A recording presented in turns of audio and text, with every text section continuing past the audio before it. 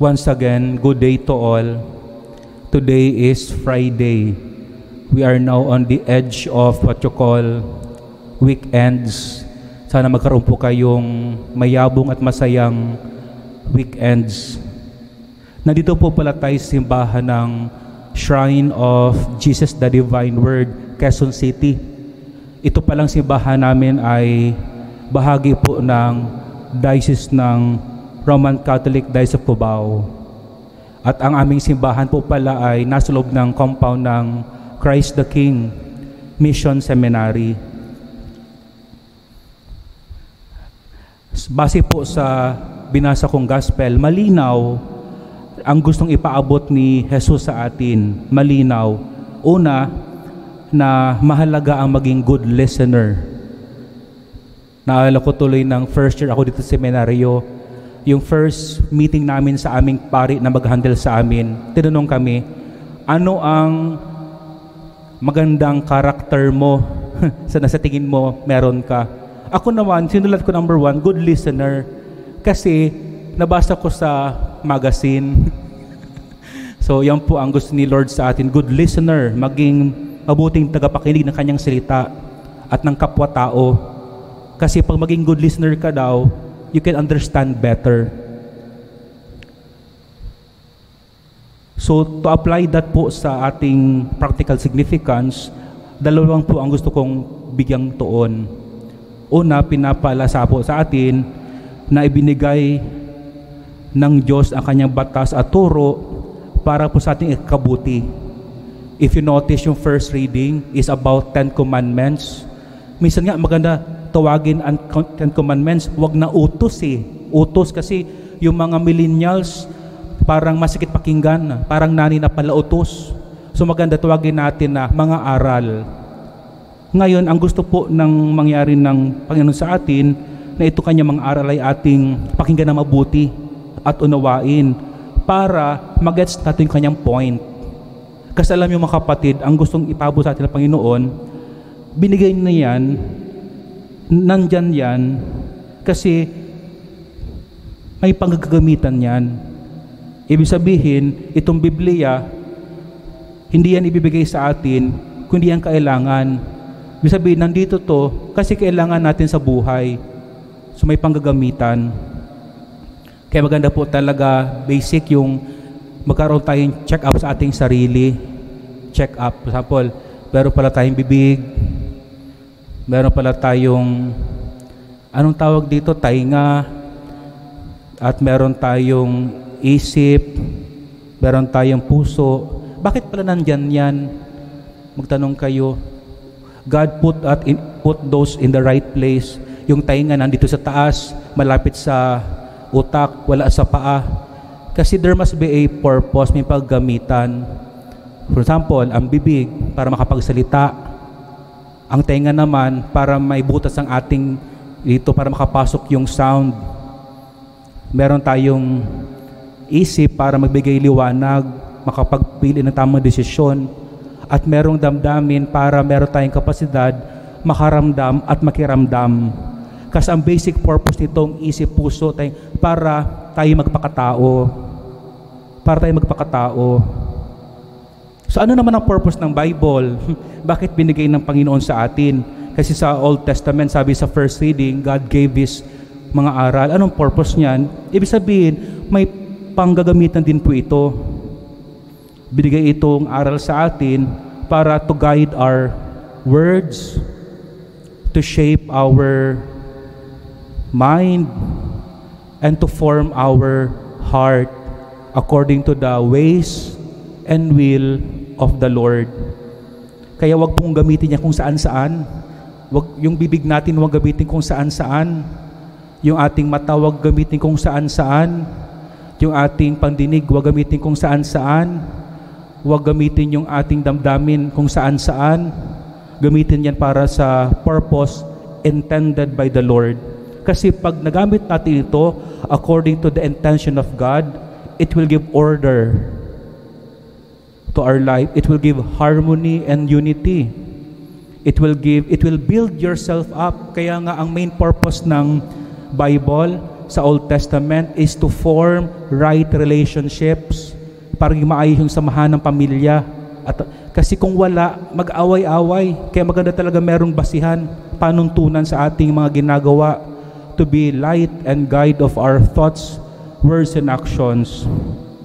Para po to illustrate, to illustrate my, my, what I'm saying, gusto sa inyong ikwento yung nabasa kong comics, I think when I was grade 4, alam yung malakas ang memory ko. Kaya minsan din, ang disadvantage ng malakas ang memory, naalala mo rin yung mga nagpakilig sa'yo, nung ang hirap makalimutan. nagpakilig at nagpaluha. Pero ang advantage niya rin talaga, maalala mo yung mga aral ni Jesus. Yung kasi naalala ko ng kasi po ng kinder kami, ang bahay namin ay malapit sa daanan ng tren. 'Di ba pag malapit sa daanan ng tren, maraming mga mga tindahan na maliliit, sari-sari store. At 1990s, sa mga sari-sari store, may mga nakabitay na comics. Ako naman, tumitingin-tingin. Ang nabasa ko doon, may isang mambubote. Yung naglalako ng bote. Kasi ba noon, maraming mga bot, yung nang bobot, namimili ng bote, namimili ng bote. Tapos, ayon sa kwento, yung mamubote, sa umaga, bumibili siya ng mga bote sa bahay-bahay. Pero ang purpose niya talaga para tumingin ng mga bakal gaya ng takip ng drainage at bakal na gawa sa signboard para sa gabi na nakawin niya ito. At gagawin niya sa pag nanakaw niya na, meron siyang acetylene, yung parang apoy para yung pangalan ng mga drainage mawala para pag ibenta niya na hindi siya ma mahabol ng may-ari. Tapos yung perang pinangbebentahan niya, ginagamit niya sa pambababae, sa nightclub, at pagiinom. Tapos sabi na kanyang kaibigan, pre, ihinto mo na yung ginagawa mo. Kasi una muna, yung pagtanggal mo ng mga takip ng drainage, makakasidente yan ng iba. Di ka ba nakukonsensya? Pero dahil nga po, nalunod na siya sa kanyang laman, kasi yung pagiinom, di niya naisip yung kabutihan eh Inisip na nila yung pagbigay ng kanyang sundin ng kanyang luho. Kaya patuloy pa rin siya. One time, sabi doon sa comics to, a comics to ha, maulan, baha, binabagyo-bagyo. Pero dahil nga sa ano na siya sa pera, lumusong pa rin siya para maghanap ng mga bakal. To the point na yung manhole na kanyang pinagkunan ng takip, nahulog siya doon. Asinipsip ang kanyang paa at marami pala itong mga bote at yung kanyang pa ay lubahang na infect. In short, siya ay pinutulan ng paa. I hope you gets the story, what I'm driving at. Pangalawa naman po, na gusto kong ibahagi sa inyo na bakit gamitin itong isip, itong pandinig, puso, isip para maka, ano gamitin sa tama at pang, tamang paggamitan para din hindi lamang para makinig sa salita ng Diyos, kundi ang makinig sa bawat isa, to listen to one another, to understand to one another. Kasi one way to experience how to be fully human, pag ikaw ay pinakinggan at iniintindi. Kasi ang purpose talaga, bakit tayo may isip, may puso, may bibig, at may tanga para siyang tulay to connect us to one another. Sana, kaya po sana, itong bibig natin, tainga, gamitin sa tamang paggamit. Huwag ipagkait. Never deny. Never, huwag ipagkait sa iba. Ang ibang mga anak, nag-away, ka, dagil sa, galit sa nanay, galit sa tatay, 3 to 5 years nang hindi umuwi, hindi kinakausap, bakit di mo gamitan bibig mo? Oh, Nay, kumusta ka dyan? But you decide to close it. Di mo ginagamit sa ano, you, you decide to close it. But ang iba mga kapatid, 20 years na, they close their mouth. They don't want to reach out. They want to build more divisions and walls than to connect. So you see ang purpose po, I hope you always ask the Lord, Lord, what is your purpose for all these things? Naala ko po tuloy si Father Willie Villegas, SVD. Namatay siya ng 2016. Si, I call him Father Willie. Uh, sino siya? Uh, SVD po siyang pari, misyonero. At 30 years po siyang nagturo ng Bible sa Divine Word Tagaytay. 30 years professor.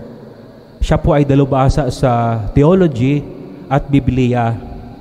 At alam niyo po ba, siya ay naging professor ko sa apat na subjects, four subjects. Tapos, genius po siya sa lingwahe. Ito kasi pong mga na-assign sa Vatican na mga pari, mga nasa mga, mas, ang kanila pong ano, basihan ay yung kung ilan ang alam mong languages. Si Father Willie, ang dami niyang alam na language. Alam niya magsalita ng Latin, perfect niya ang Hebrew, ang Greek. Tapos magaling siya sa German, sa French, sa Italian, sa Spanish. That's why I I adore I I like him, I admire him so much. But I never thought na magkasama kami dito sa Christ the King. Dito po sa isang building. I never thought. Tapos magkasama pa kami sa upuan pag kumakain. Dito po kasi sa isang building, assign seat, magkatabi kayo. I think it's it, God's purpose yun from 2013, 14, 15. So magkasama kami sa upuan sa isang table pag kumakain. Maganda siya kausap kasi two-way siya makipag-usap. Sabihin, change favor. Mauna siya magsalita, sunod naman ako. We talk anything under the sun.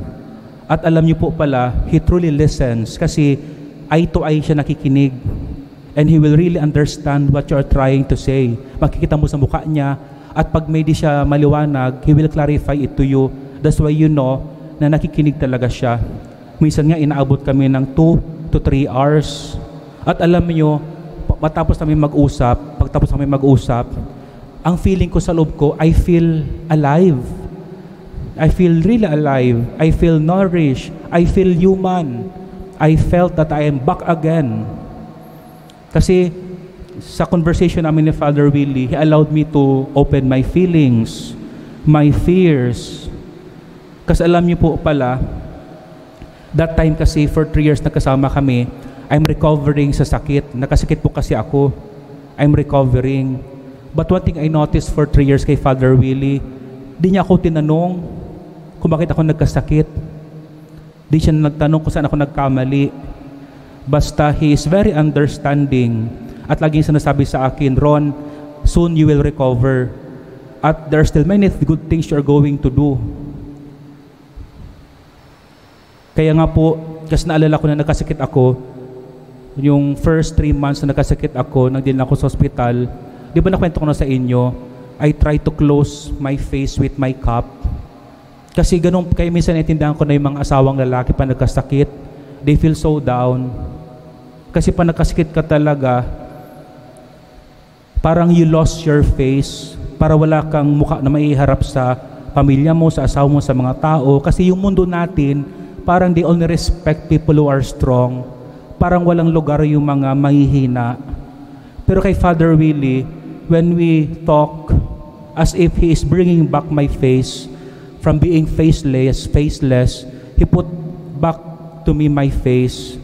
He brought back to me na raising my dignity, my value, my confidence to myself because by the way He listens and understand me, He is, that's the best treatment I am looking for because you are given a chance to talk, to be heard, and understood. Looking back, four years ago, nas naisip ko, si Father Willie, master niya ang maraming foreign languages. Pero above them all, he mastered the most important language of all that God would like us to have, the language of the heart. It is the heart that reaches to those in need, that forms bridges and destroys division. It is the heart that truly listens na nagigets mo talaga yung point ng sinasabi ng tao and you have to respond positively. Pag sinabing language of the heart, It is the heart that knows the right timing, what to say, when to say, and what not to say at the moment. Yung nakita kay Father Willie, na alam niyang hindi itong tamang timing sabihin niya sa akin, He will give me allowance. Kasi ang iba kasi walang busina. Walang, mga kapatid, busina po kayo minsan sa bibig. Busina. Ang sakyan nga, may brake at may busina. So may panggamitan yan. The language of the heart also welcomes and embrace a broken soul. I was very broken before. Kunti na lang ngayon. It is the heart that helps people become fully human and to become the best version of themselves. Mga kapatid, I hope you learn this most important language. Kaya nga po, sana ang challenge sa ating lahat, please take a survey ng iyong paligid.